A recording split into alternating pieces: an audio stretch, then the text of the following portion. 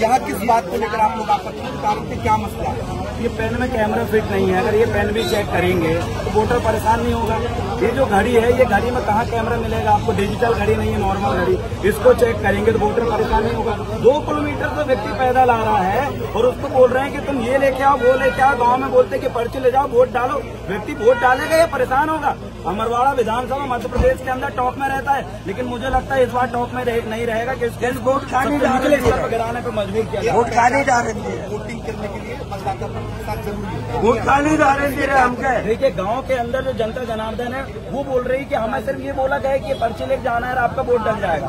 आधार card लोगों को कर रहे हैं। तो वही करेंगे ना जी। मेरे को बोलेंगे कि आप ये ये लेके आओ ये लेके आए पहली बार वोटिंग कोई देखिए। नहीं नहीं वो बात हम मानते हैं लेकिन यहाँ पर अभी सौ से ज़्यादा वोटर वापस गए वो बेवकूफ़ नहीं है देवरावन भी चलो मैं बोलता हूँ मैं सब लेके घूम रहा हूँ जिनमें मेरे पास फ़र्ज़ है। लेकिन जो जनता यहाँ पर सौ लोग वापस गए उनको आखिरकार किसने बताया कि मात्र पर्ची से काम हो जाएगा?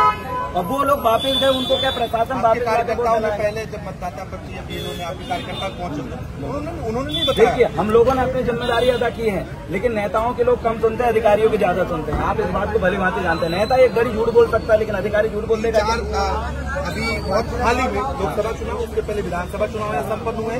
उसके पहले निकाय चुनाव भी संपन्न हुए। लगभग सभी चुनावों में वोटिंग की प्रक्रिया एक ही होती है। पहचान पत्र ज़रूरी होता है। आप मानते हैं ज़रूरी? बिल्कुल ज़रूरी है लेकिन यहाँ सौ लोग जो जनता वापस गई है उनको कौन बनाया जाके मेरा मानना है। मैं समझ जाऊँगा। उनको कौन समझा रहा है जाके? प्रशासन जाएगी क्या वो गाँव जहाँ से वो आई है? अभी क्या बातचीत की आप? अभी वही प्रशासन ने वही बोले कि हम कॉपरेट करते हैं। अंदर जाके आप एक बार चेक कराइए। अगर मैडम हाँ बोलती है तो ठीक है बोले। अभी एसडीएम साहब आए हैं। अब एसडीएम साहब क्या बोल रहे हैं पता नहीं लेकिन जो सौ लोग वापस गए हैं वो मात्र मेरे वोटर नहीं है वो बीजेपी के है वो कांग्रेस के है वो गुणवाना के है और अर वो वोट- वोटर अगर वापस गया तो आप सोच के देखिए यहाँ का परसेंटेज जो गिरेगा ना वो बारिश के बहाने मत बताइएगा कह रहे और वो फ़सल का बहाने मत बताइए वो गिर रहा है अगर वोट परसेंट गिरेगा तो यहाँ पर ये लापरवाही की वजह से गिरेगा। दादाजी।